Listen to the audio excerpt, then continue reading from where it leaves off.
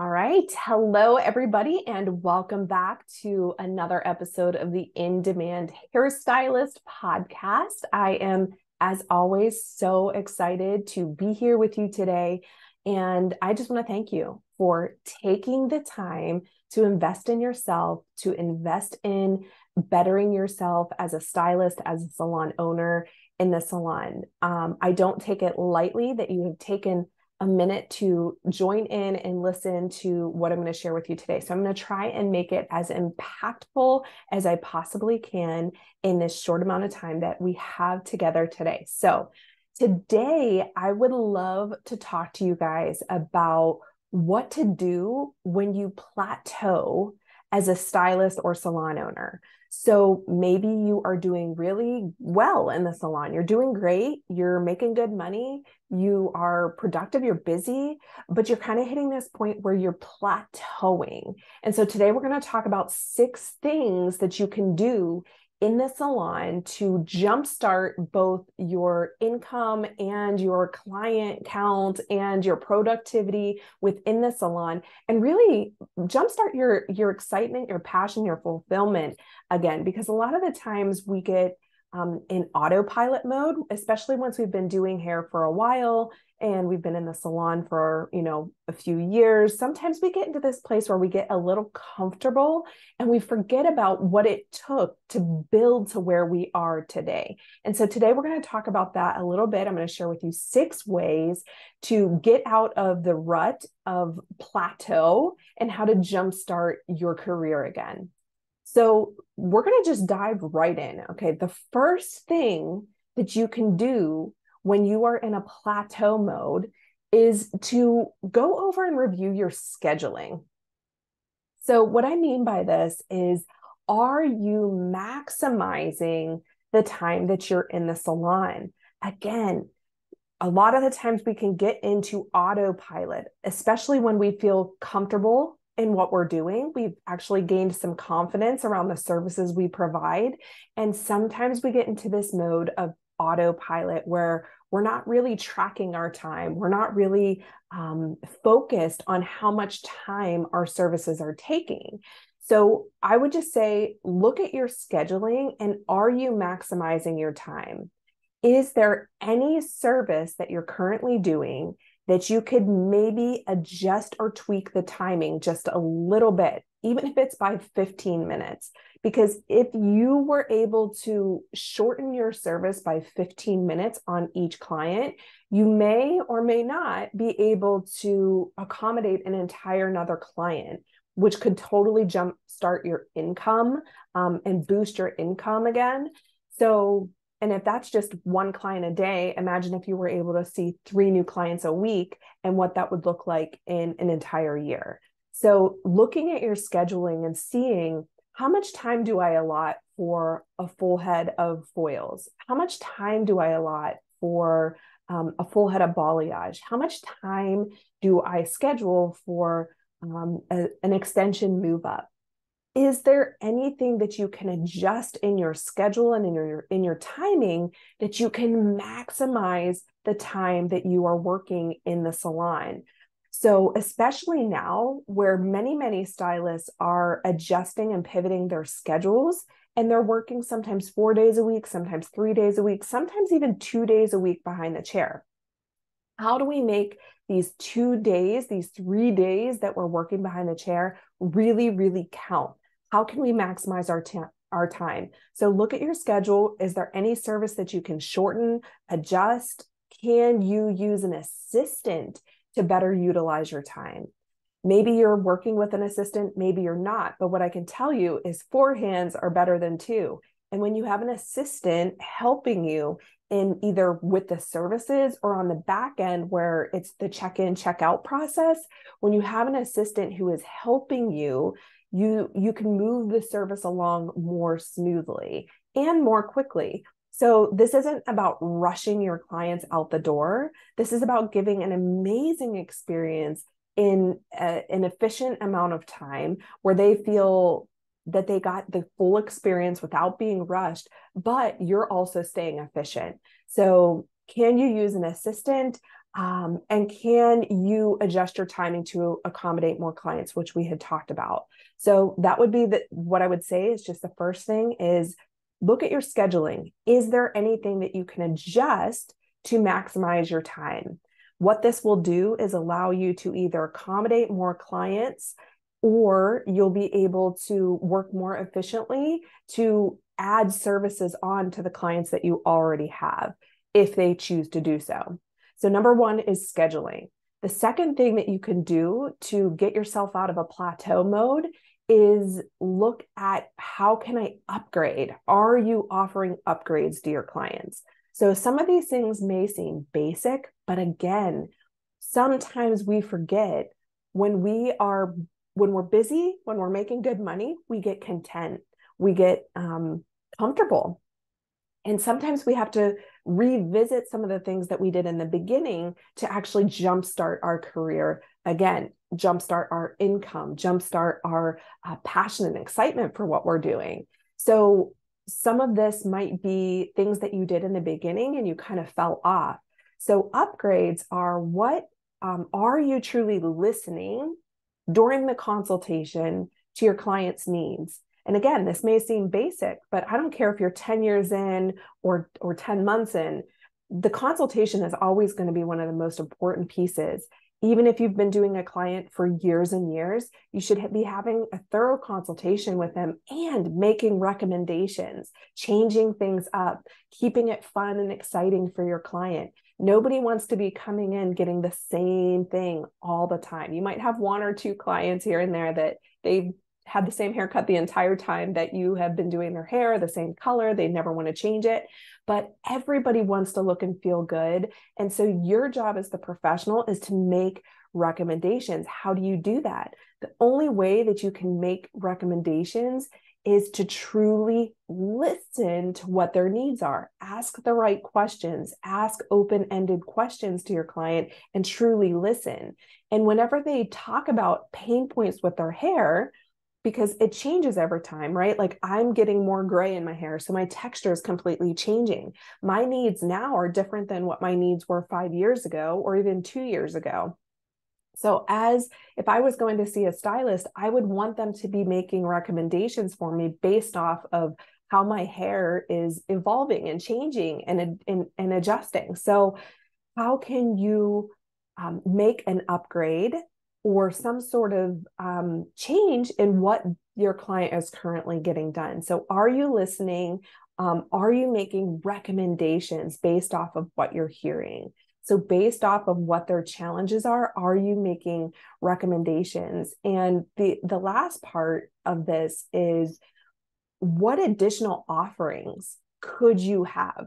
So maybe your your service menu has stayed pretty consistent over the last 5 years or more even.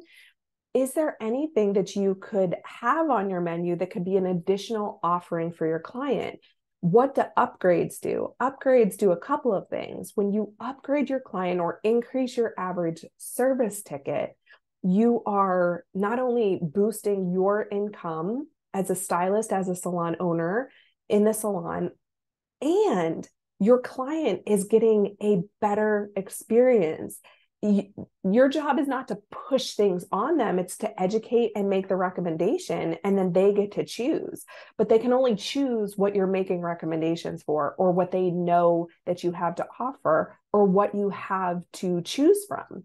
Now, could you expand your offerings so that you have an additional source of income and revenue? That may be something to think about. Um, I'm not a huge fan of salons that offer everything and everybody does everything. I feel like it gets a little diluted. But certainly, if you're somebody who is niche down and you're only offering one, two, three, or four services, maybe you could expand just a little bit and have some additional offerings, whether that be waxing, whether that be I mean, you could get creative with this. I feel like there's so many different things that you can do with offering additional services. And when you upgrade, um, this obviously boosts your income. Your average service ticket, when you in, upgrade and increase that average service ticket, it's going to boost your income. And typically that means that your clients are getting better service as well. a better experience in the salon. Okay, so number three, the third thing to do when you are plateauing as a hairstylist is to revisit your referrals. So, A, do you have a referral program? B, are you talking about your referral program all the time? So, a lot of the times, again, we get in this place of complacency, comfort, um, and we forget to be in that mode of building our business we should always be be building our business, right? So you never know, especially with the economy and things, it's just not don't wait until you're at the point where you're hurting, right? Don't wait until the point where you all of a sudden are like, "Oh my gosh, I feel like my days are opening up. I feel like I'm having gaps. Like what do I do?" Always be in that mode of asking your clients for referrals. So if you're not doing it currently, make sure that you start doing that. How how comfortable have you gotten with just doing the clients that you're doing? How comfortable have you gotten with just, you know, um, not marketing and promoting your business. So referrals are a huge source, one of the best sources of new clients. And as busy as you may be right now, at some point there are going to be clients who fall off. It's just it's statistically you're going to you're going to lose clients every single year for different reasons. So really honing in on that referral process having a referral program whatever that may be to talking about the referral prog- program on a, re- a regular basis with your clients. So um, the the third thing around referrals that I want to share with you is that maybe right now you have a full clientele, but you want to kind of hone in on a specific type of client. So again, this is talking about your ideal client. I don't know if maybe you've heard of this before, you haven't, but honing in on that ideal client. What I always coach my clients to do is really focus on who are your top 10 favorite clients that you that you do in this line your top 10 absolute favorites. Like when you see their name on the book you're just so excited because you love them right? Is it because they you have great conversations with them? Is it because they're the client who comes in and just lets you do whatever you want? They don't complain about the price. They rebook their appointments. They don't ever cancel on you. They purchase retail from you instead of on amazon right?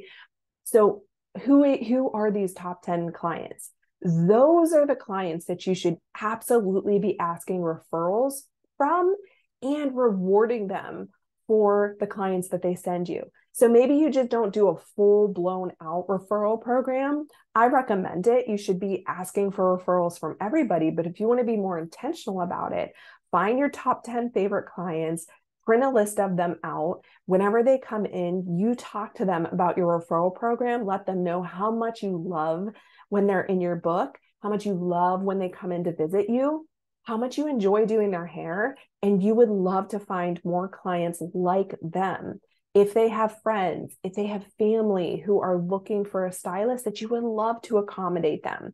And then have like a nice, handsome reward for that client and for the new client that they send in.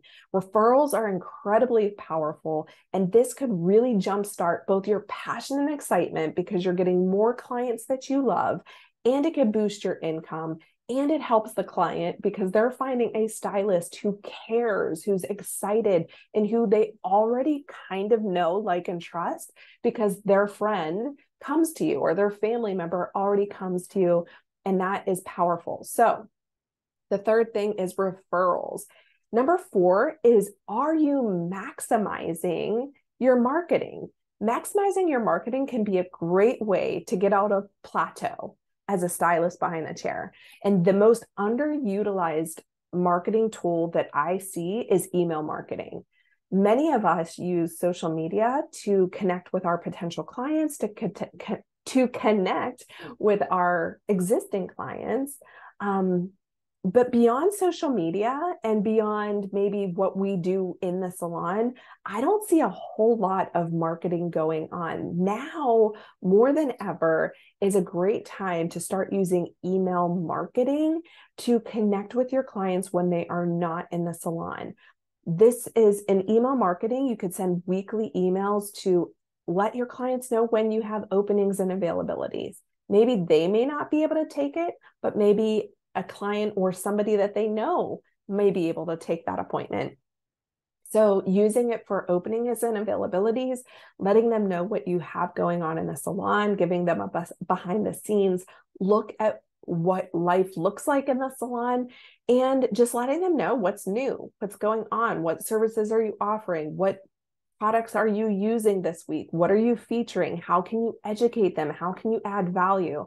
And this is a way to serve your clients when they're not in the salon. But this is also a way that you can be recruiting your clients to come in sooner, to refer their friends, to you know, fill your schedule. And again, maybe you're completely already filled. That's fine.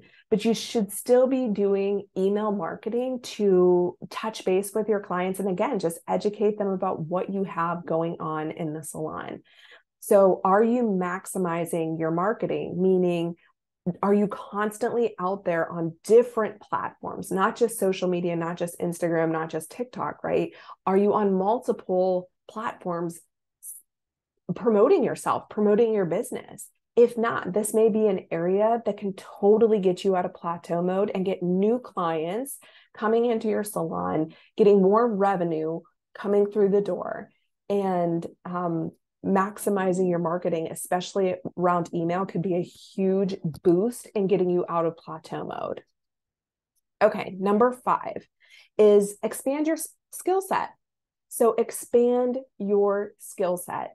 If you have been, again, in that place of comfort, um, contentment, expanding your skill set can be very powerful for many reasons. One, to ignite you again, ignite your passion because if you're bored, your clients are going to be bored. If you're giving off an energy of um, complacency, contentment, boredom, anything like that, that energy is going to shift and you're only going to attract what you put out, right? So it's the law of attraction. What you put out is what you're going to get. So let's get excited about what we're doing behind the chair again. How do you do that? Well, learn a new skill, expand your skill set.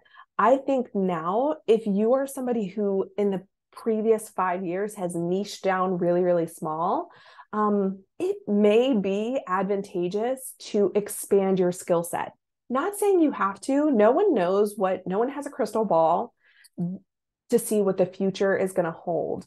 But for me as a stylist, if I had niched down at this point, I would think about revisiting some of the services that I used to offer or adding just one more skill set to my toolbox so that I have other things to offer. Why is this important?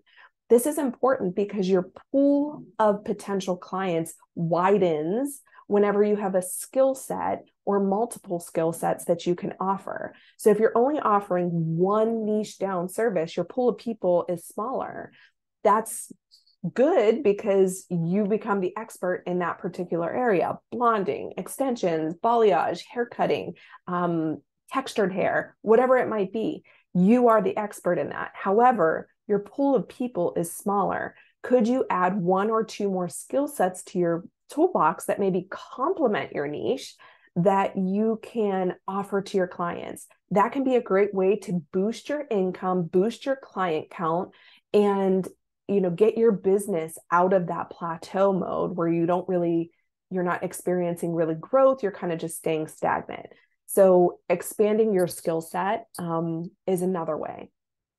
So, the last thing that I want to share with you guys, number six, which is my favorite personally, is hire, hiring. At the end of the day, if you did everything from one to five that I told you, you are still only one person. You will only ever be able to do so many clients unless you get robotic hands, which who knows, maybe at some point that might be a thing um, that can help you do more you're only one person. You're only going to be able to grow so much by yourself. So at some point, hiring on another stylist, another service provider, hiring somebody in your business that you can delegate other tasks off to that can open up more time for you to do the services that you want to do or work with clients. Hiring is your next step in growth. this is what will expand you and get you out of plateau mode. Again, even if you're a top perfor- performer, you're doing all of the right things, you are only going to be able to grow so much. You're going to stay stagnant. Yes, you can raise your prices. Yes, there are things that you can do, but you can only grow so much by yourself. At some point, you will have to expand or you get to expand, right? And that becomes the next new challenge for you as um, an entrepreneur. So, hiring definitely will get you out of plateau mode. So, some of you may be thinking, well, can I afford to hire somebody? That might be something that actually decreases my revenue and income because now I'm paying somebody. But the truth is that any you have to make an investment in order to grow you can do that with your education you can do that with working out you have to invest time in the gym in order to get more fit you have to invest to to have growth right so it makes no difference whenever we're talking about hiring in your salon yes financially you make an investment into this person with hopes that this will help grow and expand your business so, hiring is one of my favorite ways. That's how I grew my business because I could only do so much. I hired on an assistant who then became a stylist, who then became a revenue generator for me, right? And not only that, it's way more fun, in my opinion, to work side by side with somebody. It may be for you, it may not be for you. If you you can do a lot on your own. You can absolutely do a lot on your own and and have that place where you know um, maybe you hit a place where you are really content you're making great money. You are um, loving your schedule that you're working. You have balance in your life and you're like i really don't want any bigger than this. I don't want any more than this. There's nothing wrong with that. But for the sake of this podcast episode and it being how to get out of plateauing in your business i definitely want to talk about hiring and that being one of the most important pieces at some point. Now, I believe there's a place where you have to work up to that and be at a place where where you can hire somebody.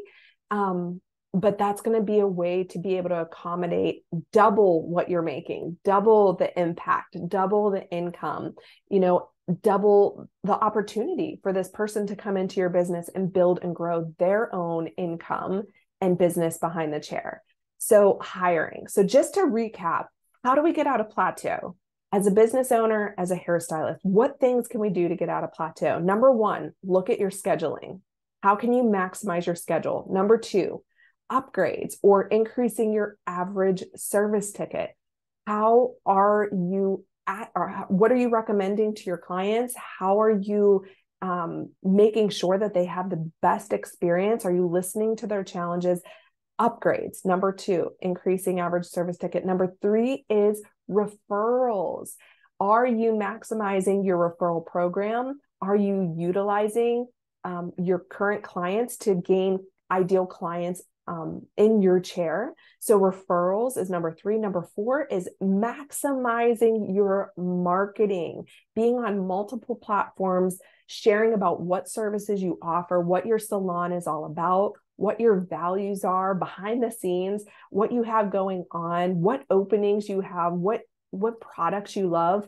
Um, where are you maximizing your marketing? And are you maximizing your marketing? Especially this is a key piece is that email marketing is a huge piece.